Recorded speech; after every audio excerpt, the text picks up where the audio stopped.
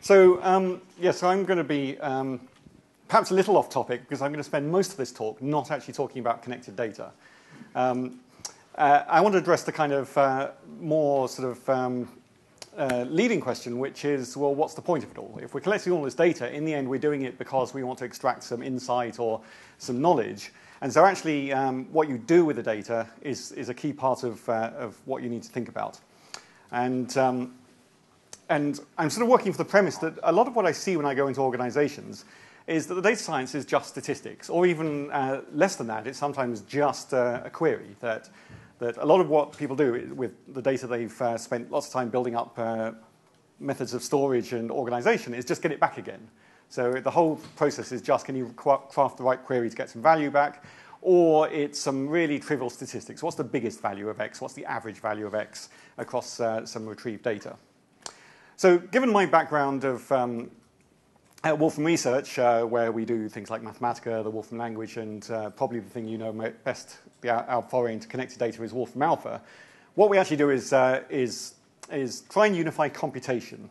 So my view on, on what we should be doing with data, what data science really is, is it's computation with data. And I want to kind of argue that that's a, a, a much broader thing uh, that unlocks a lot more of the value of all this data that you're collecting. And from our point of view, what computation is, is it's this big collection of different fields of knowledge that have been built up uh, over the years. Some from the pre-computer days, things like statistics were largely designed before computers in order to reduce the computer, uh, computational complexity. But other areas like image processing that only make sense once computers came along, and uh, queuing theory and network analysis, and all of these different areas. And what we're trying to do is to unify those so that they can be applied to the data that you're so diligently storing and organizing.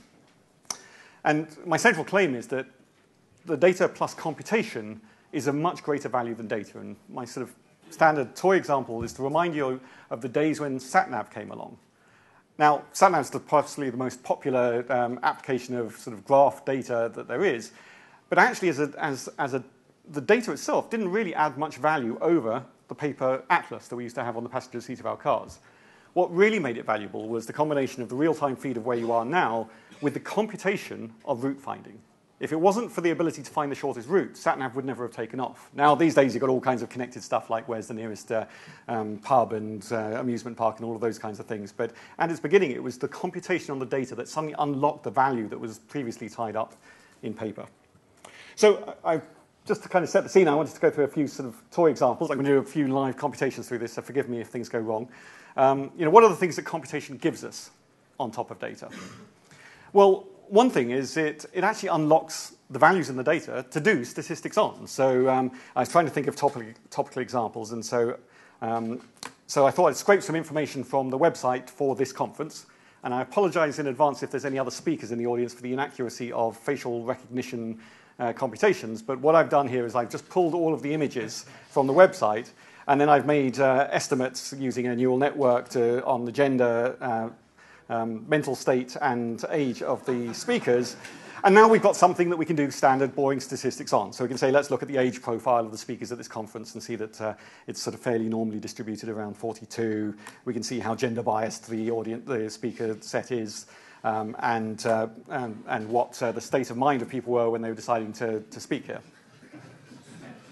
In the end, that's just statistics, but unlocking it takes serious computation. Now, another thing is being able to cross multiple domains of computation. So uh, there I was strictly in the space of um, neural networks. But actually, by unifying computation, you can join up all kinds of different types of computation to unlock information that no one thing can really do. Um, so this particular example, I take one query from our knowledge base uh, of, of, connected data. I looked up the image of uh, the Great Salt Lake from the satellite. But by joining up different types of computation, I can move through the different domains of knowledge. So we have here image uh, information. But from that, I can do image processing and infer a geometry representation. So here's a kind of uh, geometric two-dimensional mesh that represents the shape of the lake. Once we've got that, we can do things like solve differential equations over regions. So here's the eigenmodes for where standing waves would appear in the lake, or what would happen if I dropped a rock into the, uh, the, the corner of the lake.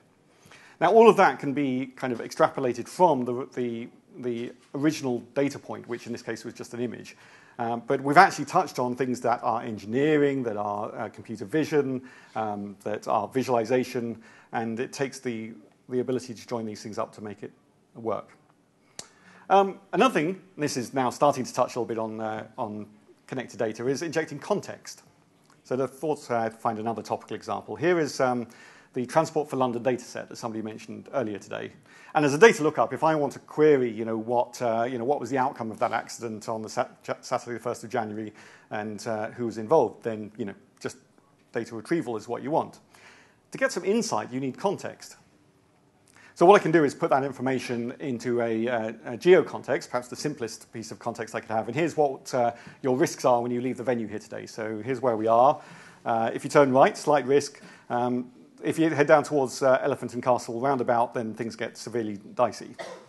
Uh, and we can look up the individual points. And, uh, and in fact, when I, until I looked at this again yesterday, this was fresh data when I ran this yesterday. Up until then, Elephant Castle was the worst 100 metres in London. I see a new contender down here, though, so I'll, I'll have to find out where that is. Now, you know, putting stuff on maps is really uh, commonly done, but actually, even within this, computation uh, is actually quite important. Um, this one was easy. It was a nice, clean data set. But I did a project for an energy company remediating spilt oil in the ground. And we had uh, topology data and we had uh, samples from the soil in the ground. And, uh, and we looked at the data and we were asking them to dig out ground that was underwater in the sea. And it was only when we looked at the sources of the data and realized that one set was in GPS coordinates, the other set was within Ordnance Survey, that we realized that there's a mismatch of 100 meters, which would have cost them about 50 million pounds in extra digging if, uh, if we hadn't spotted the weirdness of digging underwater. Um, so just the ability to align those things requires understanding of map projections, and there's saying you know 150 map projections, and uh, OS turns out to be some weird projection with a non-standard center. Um, so to be able to align the data sets uh, requires computation and understanding of uh, geodesic uh, um, references. Now, of course, you want to try and eliminate that beforehand if you can, but if you're taking feeds from multiple sources, you can't be in control of the way the data is stored. So the, just the unifying into an ontology is often computational. I'm going to skip over this one quickly because I realize it's a dumb example. I've got this one backwards. Finance people are very excited when I show them this. It's taking some statistical data and showing how uh, a graph representation unlocks uh, knowledge about which assets are moving as a cluster. But you're all graph people, so uh, that's probably uh, kind of the obvious thing that you would do. But, as a, but the point I want to make with this slide is that very often we grow up in a particular um, ontology uh, uh, and our background. If we've come through the graph space, we know all about shortest tours and, uh, and, uh, and you know, centrality and measures like that. Uh, but you might not know anything about optimization or about differential equation solving or, um, or neural networks. And, and the ability to take computations from other people's domains and use them uh, on your own data is often unlocks insights that it takes automation to be able to use because you don't have the detailed expertise. So here's my second big point, and my sort of central claim for what we do is that symbolic computation is the thing that unlocks this unification of computation and the ability to apply it to all kinds of data. Now, if anyone's used the Wolfram language, uh, they probably, um, you know, probably their first contact was solving equations and doing integrals in a calculus class at, uh, at college. And so a lot of people tend to think of symbolic computation as computer algebra, you know, getting a formula out instead of a, a numerical value. But I was told on my first day when I joined Wolfram 27 years ago, we don't do computer algebra, we do symbolic computation. And I thought that was just kind of marketing linguistics that I had to stick to, like a style guide. But actually, it took me a while to realize that actually it's the fundamental thing that makes what we do possible. So let's start with a really bit of simple bit of computer algebra. I'm doing a change of variables. Classic thing you would do in school is I'm going to replace all the x's here with u plus 1 and we get some new formula out. Behind the scenes, there's a symbolic representation of this thing. It's got this function plus. So very Lisp-like notation. The markup's not important. This could be represented in JSON or XML. But it's a function plus who's got two arguments, one and another function, power of x comma 2, and that represents this formula. So it lets us do this kind of substitution and transform one expression to another. But the language itself doesn't, while it knows about plus, it knows 1 plus 1 is 2 and all of these things about plus, actually the operation could be completely abstract. These things could be called f and g that it knows nothing about. It can still handle that in a totally abstract representation of a symbolic expression. So, so why does that do anything useful for us? Well, if we step away from computer algebra and take some piece of data from a completely different ontology, so perhaps from an engineering space, here is a 3D laser scan of my face. Sorry, I'm facing the wrong way, so it's I uh, can't do it in sync, but uh, so obviously it's a long way from this little polynomial that I did some maths on. But it turns out, because we've got a symbolic uh, representation of 3D uh, um, CAD geometry, I can use the same operation to say, in this case, take all the triangles that uh, make up that and turn them into lines. So I've got a wireframe version, or I could turn them into little pyramids to make this um, sort of horror movie version of my face. Takes a little bit more computing. So here's the, my face made out of little pyramids. I didn't have to invent a new language for dealing with, with CAD geometry. I've got the ability to transform symbolic expressions, whatever they mean. And when you look at data more generally, in fact, you can usually find a symbolic representation for all kinds of different data. So we've seen the maths example, things like times and plus, and we've seen just the uh, 3D graphics thing, but we could look at, for example, a graph representation. And there we can have a symbolic representation, which is a graph of a list of vertices and some uh, edges with edge information, directed edges down here. So it's a symbolic representation in the same kind of abstract way. Uh, we could have uh, things like something from chemistry. So here's a molecule representing as a list of atoms with bonds between them. Um, we could have documents like this slideshow I'm using. It, behind the scenes, there's a symbolic representation of the entire document, all using the same kind of uh, serialization. And even this point and click interface I'm clicking on, it's a tab view of a bunch of tabs and a bunch of contents um, and has a symbolic representation, which means we've got a language that can deal with all data. Uh, all data is essentially the same once you've got a symbolic representation. And you're not having to try and figure out how can I turn this into a bunch of string labels or in a matrix of numbers or whatever the kind of low-level language representations are that uh, are available to you. Um, so let's talk about a few things that this makes useful. One is uh, is the very automation that we're trying to do to make it so that you can touch on different domains without having to be an expert is in fact made possible by the ability to represent all data in a similar way. I've got two examples here, but they're sort of a pairwise example. So I'm going to do a bit of machine learning here. Um, I'm just going to take a classic uh, example data set here. I've got passengers of the Titanic. So this person here was a third class traveler, 29 years old male, and he died. And you know, the classic thing in machine learning is can I predict what would happen if I were to travel on the Titanic. So first of all, you can actually see, uh, although it's not, you know, it's, um, it's a pretty small detail here, that we've got a symbolic representation of the task. I'm not mentioning algorithms here, because when I ask it to do this task of classification, and give it a chance to think about the data here, um, we get this symbolic representation of a classifier back, and you'll notice the sort of automation is buried in the small print here. It says method goes to decision tree. So um, it's used a tree-based method to try and uh, classify this data, and it's figured out that the inputs were nominal for the, uh, for the class, uh, numerical for the age, and nominal for the, the male. So it's, it's not had to be told anything about the method or the data structure because the data is just symbolic. It's, there is only one structure. It can then figure out uh, from the pattern what uh, to do with it, and we automate things like the decision of um, of what method to use. Now, you might be an expert, and I might say method goes to neural networks or, um, or k nearest neighbor with a neighboring clustering of eight and whatever details I want, but I shouldn't have to. And so here's the effect. You get a classifier that says I would not have made it. And we can drill into that a bit with, uh, uh, by asking why, and it says uh, by this model I had a, only a 27.5% chance of getting off alive. Right, so now let's step back from that uh, bit of sort of text and number machine learning and do a different machine learning task. We'll do some computer vision. So I'm going to teach it here how to play rock, paper, scissors. I'm just going to gather a data set here. Hopefully uh, I can line up with the camera here. Um, we're going to do, oh, I sorry, you need to say some rock. I'm just going to generate some label data here. So here's some rock images. We've got about 10 of those. And then let's have some paper images.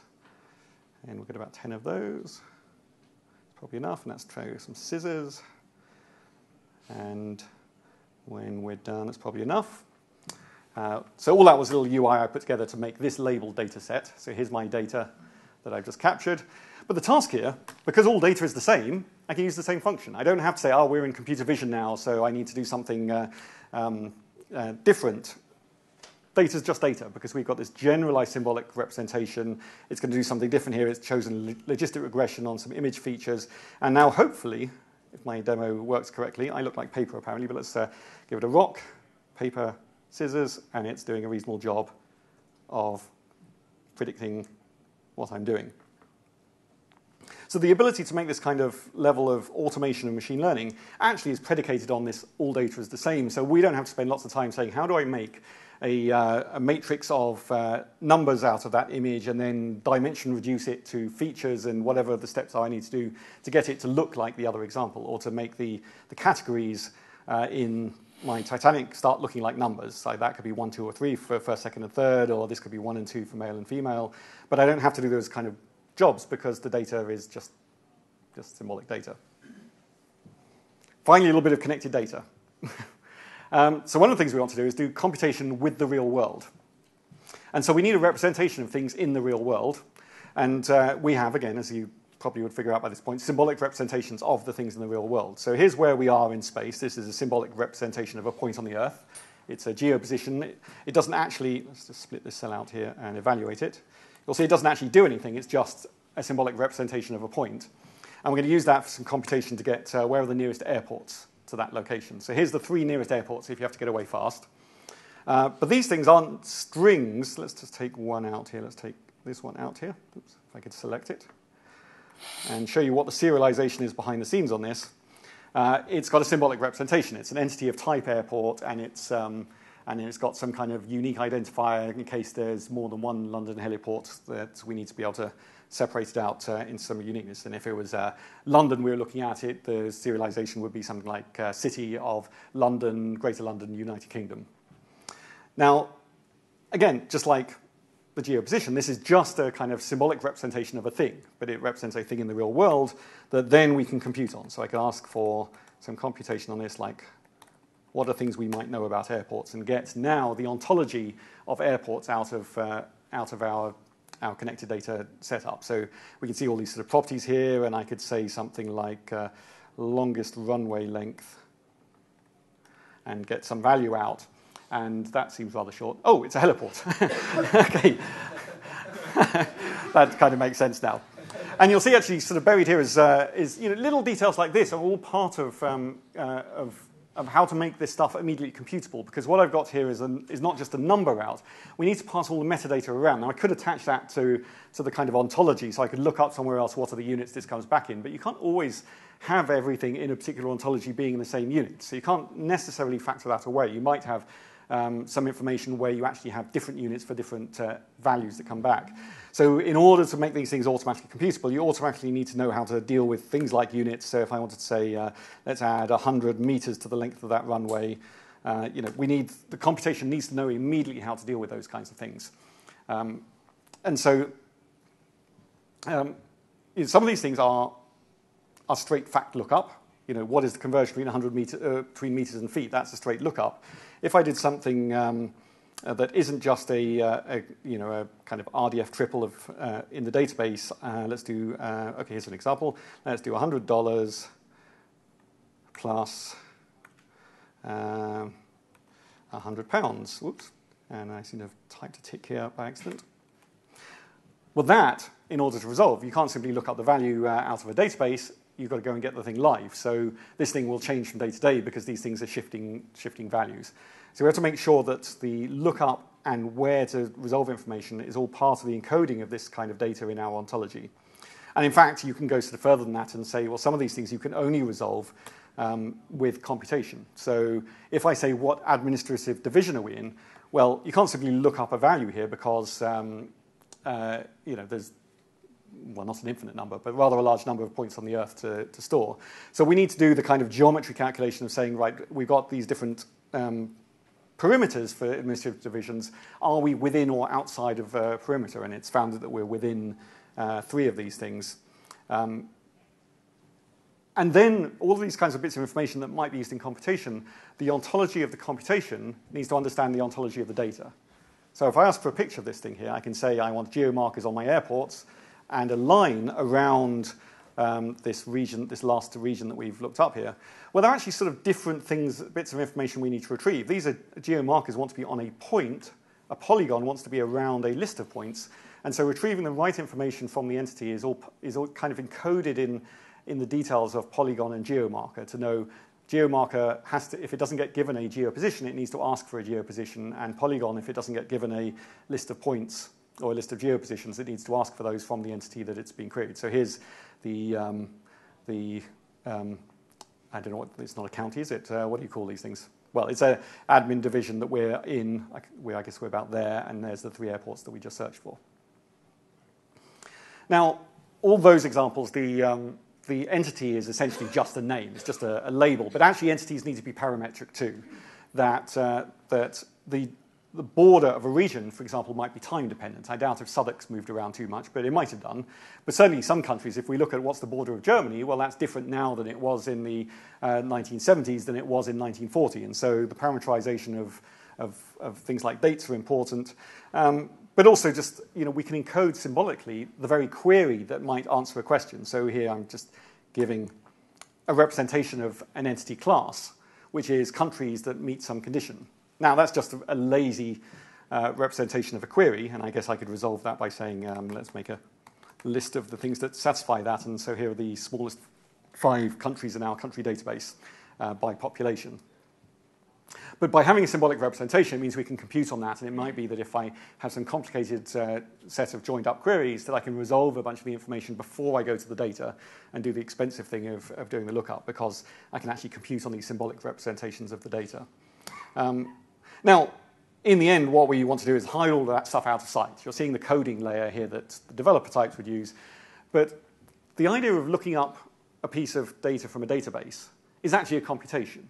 It's a query computation. The same thing as solving the differential equation over the Great Salt Lake is a computation. It just happens to be a mathematical one. So it's not always clear when you're asking queries uh, what kind of thing it's doing. I mean, if I pick very different examples here, what's, uh, I don't know, atomic, atomic weight of gold. So if I'm just putting this into Wolfram Alpha, this is basically just a query. We just have to go to the database and look up some number, and it's, there's the number, and then it's spotted that it's in uh, atomic mass units, so it's given me some uh, alternative units and equivalence things, but basically it was a lookup. If I do something uh, a little bit more connected, I could do something like uh, weather in Rome when, uh, who, well, let's see, Theresa May was born. Then to answer that, we actually have to touch on multiple different data sets. So the first thing we need to do is to decode the linguistics into a symbolic representation of a query. This is the kind of picture of the symbolic query that says Theresa May date of birth. That resolves to a date. A date and a place together with weather is something we can call a weather station and, and look up. And so here's our answer that it was uh, um, pretty average and dull on that day in 1956. Now let's do one that's a bit different. How about something like where is the ISS, the International Space Station? So this one does require a lookup. We have to call NASA and say, tell us where the International Space Station is. But uh, and so according to what we've got here, it's somewhere over, somewhere near Cambodia, I guess. But the reason why I like this example here is that NASA's really rubbish. So it tells you a couple of times a day where it is. So this data point was based on some information that NASA last updated 7.4 hours ago. But this is actually correct. This is where it is right now, because in order to answer that, this is essentially a computational question. We look up the value and then plug that into orbital mechanics to work out in seven and a half hours it's gone around the Earth 3.1 times or whatever it is to arrive at the point that it is right now. So all of these things, there's a mix of lookup and computation. They're sort of indistinguishable if you think about them abstractly. Um, so I'm in danger of overrunning here. Let me do uh, two more examples. I think I've got time to squeeze them in. So this one's really abstract. I want to go back to maths again here, but I've, this one illustrates one of the issues to do with anything we get back. It's nice when we get back a number and it says the answer is six, but sometimes the answer we get back is uh, kind of complex. So here's some pure maths, very pure. Uh, this is proving axiomatic systems. This is uh, an axiom system. So, like arithmetic, two numbers add up to a number, that adding zero to anything does nothing. This is the axiom system uh, the minimal axiom system for logic. So this represents everything that you, could, uh, you need to know about logic in one line. And we can ask then the question, is it true? Does it show that uh, A NAND B is the same as B NAND A? Which we know, but can we infer that from the logic? Well, we can run that. Actually, I guess I left that computation already run, but let's rerun it here. So it either comes back saying failed, no, or not, or it says, yes, I've proved it. That you can now take this to be a true statement given the axiom system. So if all you want to know is, is it provable? We're done. Nice simple answer, proof object, we're done. But actually, how do we understand that? Well, that object there is a really complicated thing with 102 steps in it. There's different things we need to do, even just to understand it. So actually, the answer itself needs computation to understand. So, but with these kind of rules for taking a symbolic expression and transforming it to another symbolic expression, you know, when, when you solve an equation, you take an equation and you get, you know, some, uh, some number out. That's just a transformation. Well, I can transform this object into uh, a document, because the document just is another symbolic object. So here's now the human written version of this proof. And, uh, you know, it's a bit of a challenge to follow. but you can follow through all of the lemmas and steps and uh, and conclusions, or I could zoom out and say, well, let's turn the thing into a graph of just how these lemmas connect. And here's the graph of the steps involved in that proof, eventually converging down to the conclusion. So some, very often these things you get back in, in, themselves are just too rich to be represented in anything less than a symbolic uh, form. Final example before I completely overrun my time. Um, the model itself, the things we are doing is computation, well, they're symbolic as well, which means that just like we can compute on any piece of data, we can compute on the things that we're using to compute. So I brought a, an example of this. This is um, sort of back to machine learning. It's transfer learning. It's taking a model from somewhere and applying it somewhere else. So I'm going to look up here. We have a database of 100 odd neural networks. So I'm just going to fetch the database, the network. So here is the symbolic representation of a complicated convolutional neural net with, a, net with a couple of hundred layers in it. They're in sort of 20 base layers, but then some of these things are little graph layers within them as well. So it's a complicated thing, but its purpose is to apply to a, uh, a picture and try and figure out what it is. So here we've done some um, image identification. I guess we could check that by saying, let's uh, query what we know about German short-haired pointers to get a picture back and see if it looks like the same dog. Now, transfer learning is to take what it knows in this pre-trained network and apply it to some new problem. So I'm going to um, make a new neural network that um, will know the difference between a good pet and a bad pet. Now, I don't know enough about neural networks to synthesize this thing from scratch, but it's a symbolic object, so I can compute with it just like anything else. So I'll just do a fairly simple few steps here, which is I'm going to take the first 23 layers of that net, most of the network, and then I'm going to stick on two, uh, a, a, connected two layer to make it just two classes that come out, and softmax is a probability layer. So I'm just uh, ripping off a couple of layers and adding a couple of new ones. But because it's, um, it's uh, because it's just another piece of data, I can compute with it. For example, I could say, let's just take the uh, first five layers of that network and apply it there and maybe turn them into pictures and see what the neural network is say, seeing at layer five. So here's what's going on inside its mind. Well, here I'm just taking those five layers and adding a new one and then retraining it with some new data. Uh, dogs are good pets, cats are bad pets. And so it's going to take a few seconds to think about that. And I'm telling it, don't bother uh, rethinking what you see in the images, just uh, learn from the output, and after it's had a bit of thought, then um, I'm going to run if I let it complete thinking. So I'll just stop it early and say, what do you think of that scary cat? Bad. What do you think of this dog? Good. And uh, we could take me and and there's a picture of me, and I'd be a good pet which is a nice outcome because every time I tried this before, it hated me. Right, so let me wrap up. So my thesis is that data and computation is so much more. You can't just think about how you handle your data. What are you going to do with it when you get it out to actually unlock some insights and value and to make sort of actionable decisions from? And unifying data actually in the end requires some kind of symbolic representation of these very rich entities. Otherwise, everything just comes back to a number or a string that you then have to try and figure out what that means. And unified computation in the end means symbolic computation to be able to handle these different objects. Thank you very much.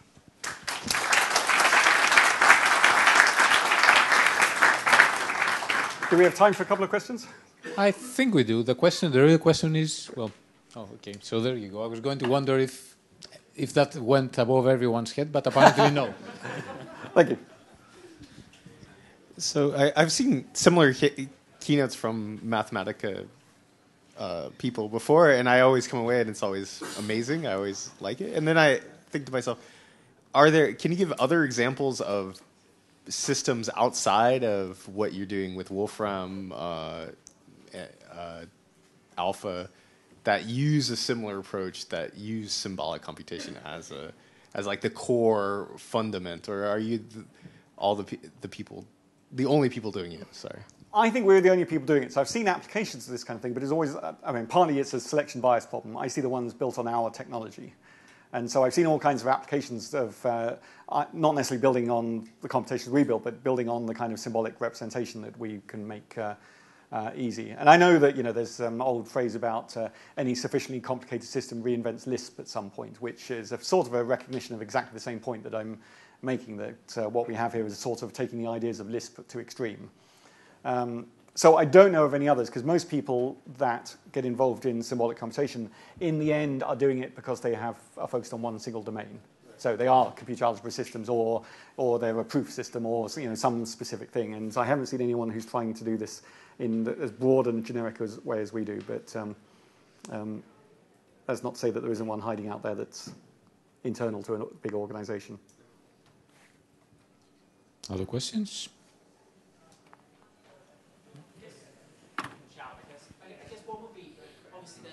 There's a ton of knowledge in this and it's incredibly impressive. If I had my own database or graph store of experimental data and I've marked it up semantically in some way, how easy is it for me to bring that into what you've done at Wolfram? Yeah.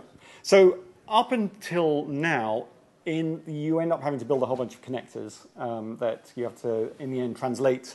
You know, the the entity system needs to say this resolves to this following SQL statement to fetch the right data from the database or or you know Mongo lookup or whatever database is your backend. Um, somewhere around the end of the year, we're shipping version 12, which is trying to abstract that away. So there is uh, a new capability where you basically say interrogate database and it uh, generates you a list of all of the queryable terms and their, their relationships, the kind of foreign keys if they're linked tables, um, the ability to remap them. So if they've got dumb names, you can give them names in that query. And then the abstraction from saying entity value this, comma, this value the fact that that might get translated into SQL or translated into SPARQL query or something like that is entirely abstracted away. I haven't actually used it myself in anger. I've seen demos and read a bit of the documentation, so I don't, I can't, don't want to personally say that it's going to solve all your problems, but uh, that's where we're heading to try and make, whether version one does it or whether you'll have to wait till you know, version two or three of that technology is good enough, I don't know, but that, we're trying to make it so it's essentially automated. Okay, last chance. Any last questions before we wrap it up? No? Okay, I guess not. Okay, so thank you very much.